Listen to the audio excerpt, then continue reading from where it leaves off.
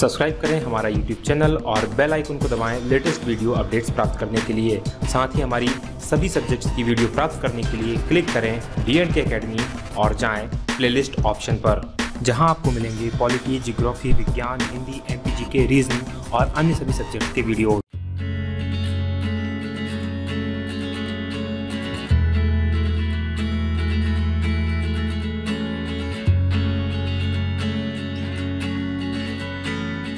This video is sponsored by mocktime.com. SSC banking all competition exams की test series join करें। मात्र सौ रुपए में अधिक जानकारी के लिए क्लिक करें ऊपर आई बटन, या नीचे डिस्क्रिप्शन में लिंक पर।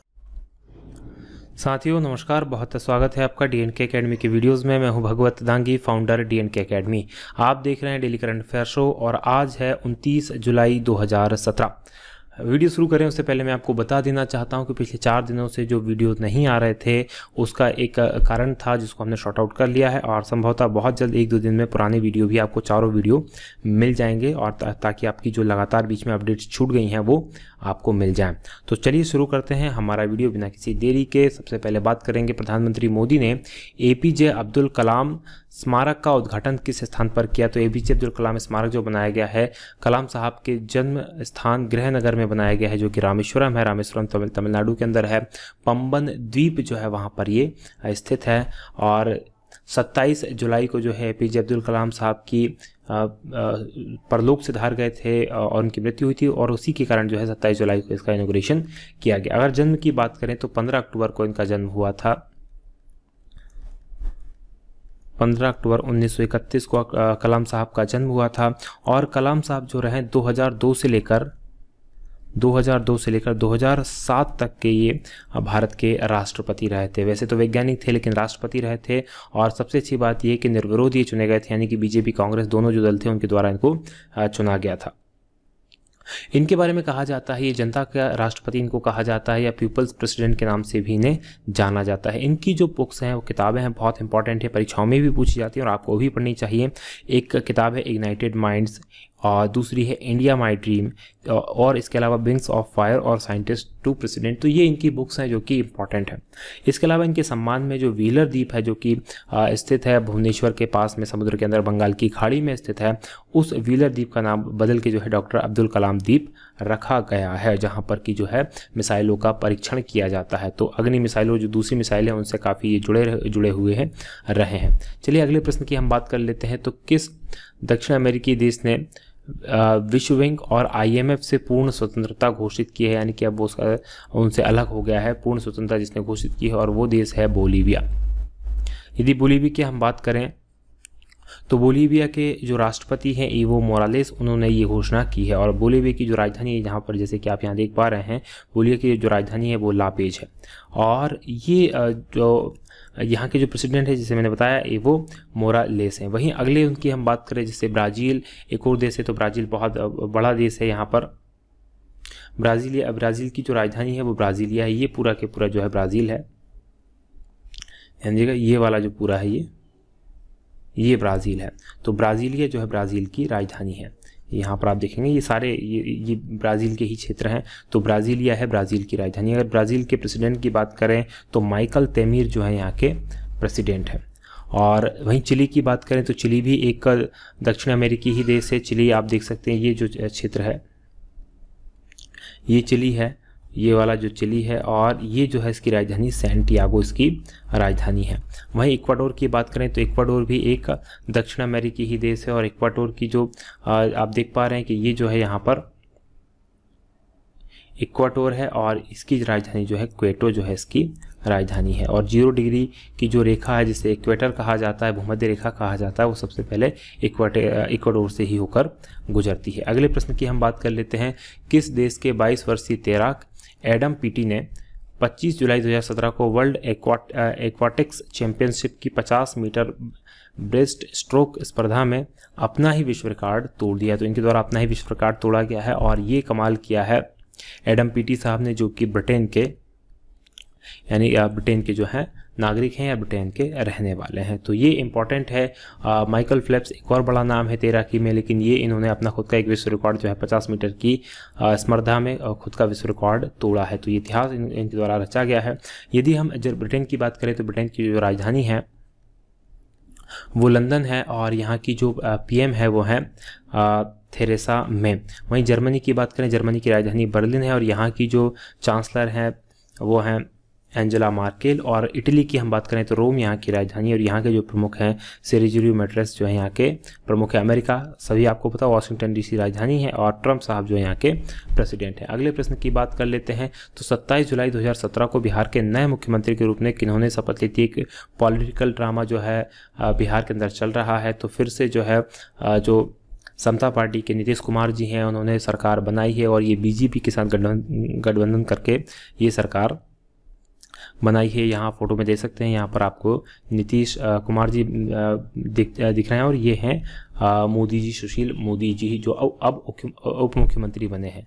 वहाँ महागठबंधन लालू जी की जो पार्टी थी और कांग्रेस की जो पार्टी थी, कांग्रेस लालू पार्टी रालोद के साथ मिलकर बनाया गया था, लेकिन जो भ्रष्टाचार के आरोप लगे लालू जी के पूरे परिवार के ऊपर तो फिर जो तेजस्वी यादव जो थे वहाँ के उप मुख्यमंत्री थे, उनको, उनसे स्पष्टीकरण कहा तो स्पष्टीकरण नहीं दिया गया तो उसके बाद ये गठबंधन टूट गया और नीतीश कुमार जी ने जो है बीजेपी के साथ गठबंधन करके फिर से पार्टी फिर से सरकार बनाई है और यहाँ पर जो उप मुख्यमंत्री अब बनाए गए हैं वो सुशील कुमार मोदी जी, जो कि अध्यक्ष हैं बीजेपी, बिहार के। यहाँ के जो राज्यपाल की बात करें तो केसरीनाथ त्रिपाठी जो राज्यपाल हैं, साथ में बंगाल के भी वो राज्यपाल हैं। अगले प्रश्न की बात करें, हाल ही में नेपाल में मुख्य न्यायाधीश के रूप में किसे नियुक्त किया गया है? तो संतोष उपाध्याय जी को नेपाल के मुख्य न्यायाधीश के रूप में नियुक्त किया गया है। अगले प्रश्न की बात करें विलगेट्स को पीछे छोड़ते हुए हाल ही में कौन सा व्यक्ति विश्व का सबसे अमीर व्यक्ति बन गया है? सर्वाधिक समय तक लगभग तेईस साल तक जो है बिलगेट्स सबसे धनी व्यक्ति रहे हैं और अब उनको पीछे छोड़ते हुए जो सबसे धनी व्यक्ति बन गए हैं वो जेफ वेजोस बन गए हैं। जेफ वेजोस की बात करें तो ये अमेजोन अमेजोन के फाउंडर हैं। अमेजोन जो, जो आप ऑनलाइन शॉपिंग वेबसाइट है उसके ये फाउंडर हैं। तो सारे विश्व में इसके शॉप्स हैं सारे विश्व में ये बिज़नेस करती है तो सबसे अमीर व्यक्ति बन गए हैं। जेफ वेजो साहब। वहीं मार्क जुगरबर्ग की बात करें तो फेसबुक के ये सीईओ हैं और सुंदर पिचाई की बात करें तो ये गूगल के सीईओ और एलन मस्क की बात करें तो ये एक ऐसी कंपनी है जो चाँद पर बस्ती बनाने का काम कर रही है, यानी चाँद पर रहने का एक सपना दिखाया है। ने स्पेस क्राफ्ट करके एक कंपनी है, उसके ये प्रमुख हैं एलन मस्क साहब। अगले प्रश्न की बात कर लेते हैं। तो हाल ही में सुप्रीम कोर्ट द्वारा भारतीय दंड संहिता आईपीसी की धारा 498 ए, ये इंपॉर्टेंट धारा, ध्यान दीजिएगा 498 ए, बहुत ही इंपॉर्टेंट धारा है। इसके गलत इस्तेमाल पर किस अपराध के लिए सीधे शिकायत पर गिरफ्तारी पर रोक लगा दी गई है? अभी तक होता ये था कि यदि कोई महिला दहेज उत्पीड़न का उसके पति और उसके परिवार के खिलाफ केस लगाती थी तो उन्हें उनकी शिकायत के आधार पर ही उन्हें गिरफ़्तार कर लिया जाता था। लेकिन अब इसमें चेंज किया गया है। अब इसमें यह होगा कि सीधे उन्हें गिरफ़्तार नहीं किया जाएगा, सुप्रीम कोर्ट ने हाल ही में ये आदेश दिया है। और ये काफ़ी अच्छा आदेश है, क्योंकि कई बार ऐसे केसेस हुए हैं कि घर के घर के अंदर लड़ाई किसी और विषय पर होती है, या घर परिवार में प्रॉब्लम कुछ और होती है तो उसे दहेज प्रडाना का नाम देकर चीज़ें दूसरे तरीके से की जाती हैं। तो उस, उसी चीज़ को देखते हुए जो सुप्रीम कोर्ट ने इसके ऊपर रोक लगा दी है कि सीधे गिरफ़्तार नहीं किया जाएगा। अगले प्रश्न की बात कर लेते हैं। हाल ही में किस यूनिवर्सिटी के एक शोध में खुलासा हुआ है कि पिछले पैंसठ वर्षों में मानव ने आठ दशमलव तीन अरब मैट्रिक टन प्लास्टिक का उत्पादन किया है और ये हाल के पैंसठ सालों के अंदर मानव ने ऐसा किया है। और ये जो शोध हुआ था, ये जॉर्जिया यूनिवर्सिटी में हुआ था। जॉर्जिया यूनिवर्सिटी जो है, यूएसए यानी कि संयुक्त राज्य अमेरिका की यूनिवर्सिटी है। तो इसके द्वारा ये शोध किया गया था और उसमें कहा गया कि मानव ने इतना सारा प्लास्टिक जो है दुनिया में लेकर आ गया है। अगले प्रश्न की बात करें, एशिया फुटबॉल परिसंघ यानी कि ए एफ़ की टूर्नामेंट समिति ने इंडियन सुपर लीग जिसे आईएसएल के नाम से जाना जाता था, जिसे क्रिकेट की आईपीएल होती है, उसी तरह से ये आईएसएल है। सुपर लीग को किस कप का स्थान देने की मंजूरी दे दी है, यानी कि अब किस कप के नाम से उसे जाना जाएगा तो ये अब इसे फेडरेशन कप के रूप में जाना जाएगा। तो इंपॉर्टेंट है सुपर कप डेविस कप, ये फुटबॉल के कप है तो अब इस, जो फेडरेशन कप के नाम से इसे जाना जाएगा। और ये इंपॉर्टेंट है। अगले प्रश्न की बात कर लेते हैं। केंद्र सरकार ने भारतीय मूल के विदेशी नागरिकों से विवाह उपरांत सामने आने वाली कठिनाइयों का पता लगाने के लिए विशेषज्ञ समिति की गठित की और इसका काम किसको सौंपा गया है? इसके अध्यक्ष कौन है?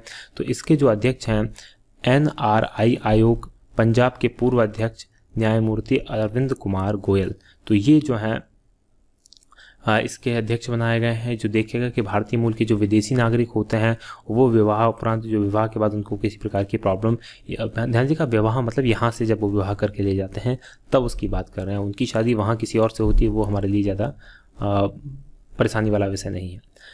पाकिस्तान के प्रधानमंत्री जो नवाज़ शरीफ ने अपने पद से त्यागपत्र दे दिया है और प्रधानमंत्री जो नवी नवाज़ शरीफ थे, उन पर आरोप क्या लगाए गए तो ध्यान दीजिएगा, इन्होंने हाल ही में जो सुप्रीम कोर्ट है, उसने इनको आयोग के करार दिया था और उसके बाद इन्होंने अपना इस्तीफा दिया है। इन पर पनामा केस, यानी पनामा गेट जो हुआ था, जिसमें पनामा में जो टैक्स सेवन कहा जाता है पनामा को, वहाँ की कुछ, वहाँ कंपनी के, जिसमें भारत के भी बहुत सारे लोगों का नाम आया था, उसमें भी इनका नाम है और भ्रष्टाचार के आरोप इन पर लगे हैं। लंदन में बहुत बड़ी संपत्ति इन्होंने बनाई है। इन दोनों केस, यानी ए और बी, दोनों इसमें सही आएगा। इसके आधार पर जो सुप्रीम कोर्ट है, उसने इनको अयोग्य ठहरा दिया है और अब इनकी जगह पर जो वहाँ के प्रधानमंत्री बनेंगे, इन्हीं के भाई शहबाज शरीफ जो हैं, अब वहाँ के प्रधानमंत्री बनाए गए हैं। केंद्र सरकार ने सामुद्रिक गतिविधियों में संबंधित सभी जानकारी मछुआरों और अन्य संबंधित लोगों तक पहुँचाने के लिए एकीकृत सूचना प्रसार प्रणाली ऐप का शुभारंभ किया। एक ऐप बनाई गई है सीधा सीधा आपसे पूछा गया उस ऐप का नाम क्या है? तो ध्यान दीजिएगा उस ऐप का जो नाम है वो है सागर वाणी। सागर वाणी नाम से ऐप बनाई गई है जो कि जो मछुआरे हैं उन, उनको संबंधित जानकारी इसके द्वारा प्रदान की जाएगी। अगले प्रश्न की बात कर लेते हैं तो वह महासागर जहाँ वैज्ञानिकों ने शार्क मछली की नई प्रजाति की खोज का दावा किया है, जहाँ शार्क मछली की नई प्रजाति खोज की खोज की गई है और वो प्रशांत महासागर में ऐसा किया गया है। विश्व का सबसे बड़ा महासागर है प्रशांत महासागर और इसलिए ये इंपॉर्टेंट है। इसकी जो प्लेट्स है, जैसे आप यहाँ देख पा रहे हैं, उसके प्लेट्स पर बहुत सारे ज्वालामुखी हैं प्रसिद्ध ज्वालामुखी हैं, जिसके कारण इसको रिंग ऑफ़ फायर के नाम से भी इस प्लेट को या इसके किनारों को रिंग ऑफ़ फायर के नाम से जाना जाता है। अगले प्रश्न की बात कर लेते हैं। तो अगला प्रश्न है, अंतर्राष्ट्रीय मुद्रा कोष के वर्ष 2017-18 में भारत की अनुमानित जीडीपी विकास दर क्या होगी? तो अनुमानित जो अंतर्राष्ट्रीय मुद्रा कोष ने उसने अनुमान लगाया है वो सात दशमलव दो प्रतिशत भारत की जो है जीडीपी का विकास दर होगा। चलिए तो ये अंतर्राष्ट्रीय मुद्रा कोष के द्वारा अनुमान लगाया गया है। अगर अंतर्राष्ट्रीय मुद्रा कोष की बात करें तो 1945 में इसकी स्थापना की गई थी और क्रिस्टियन अलीगार्ड जो है, इसकी प्रमुख है। अगले प्रश्न की बात कर लेते हैं 27 जुलाई 2017 को Codex Alimentarius commission. Codex Alimentarius commission ने किन मसालों के सार्वजनिक सार्वभौमिक मानकों को अपनाया है? तो ध्यान दीजिएगा, पहले तो ये समझ लें कि जो कोडेक्स एलिमेंट्री कमीशन क्या है, ये विश्व स्तर पर एक जो मसाले होते हैं, उनके जो मानक यानी उनके स्टैंडर्ड को तय करने वाले, उनके रूल को तय करने वाला एक कमीशन है, एक आयोग है, जो तय करता है कि भाई विश्व स्तर पर क्या मानक होंगे। जैसे हम देखें एक किलो का माप जो पूरे विश्व में एक जैसा होता है, या एक मीटर का माप हर जगह एक बराबर होता है तो ये स्टैंडर्ड होते हैं। उसी तरह से जो है मसालों का स्टैंडर्ड होता है, उसमें, इसमें शामिल किया गया जीरा, अजवाइन और मिर्च को इसमें शामिल किया गया है। अगले प्रश्न की बात करें बाघ गणना 2017 के अनुसार देश में सर्वाधिक बाघ संख्या कहाँ की है? तो देश के अंदर बाघ संख्या सर्वाधिक जो है, कर्नाटक की कर्नाटक में लगभग 400 बाघ हैं। पहले मध्य प्रदेश में हुआ करती थी ये संख्या और मध्य प्रदेश को टाइगर स्टेट कहा जाता था, लेकिन अब मध्य प्रदेश में ये नहीं है। दूसरे नंबर पर हम बात करें तो दो बाघों के साथ जो है, उत्तराखंड दूसरे नंबर पर इसमें आ गया है। तो ये बाघों के बारे में है और इंपॉर्टेंट है बाघ। भारत के जो राष्ट्रीय पशु है बाघ और विलुप्त होता जा रहा है, इसलिए इसका जो है संरक्षण आवश्यक है। तो आज का ये हमारा वीडियो होता है, यही समाप्त। वीडियो यदि आपको पसंद आता है तो आप इसे लाइक करें, साथ में शेयर करना ना भूलें और कमेंट ज़रूर करके हमें बताएँ। शेयर करें कमेंट करें, ताकि आपकी जो बातें हैं वो हम तक पहुँच सके और पिछले जो वीडियोज़ हैं वो हम बना रहे हैं और बहुत जल्द हम अपलोड कर देंगे। आज की बात करेंगे, यहीं समाप्त। आप देख रहे थे डी एन के अकेडमी जो है नंबर वन जी के चैनल। बहुत बहुत धन्यवाद। जय हिंद, जय भारत।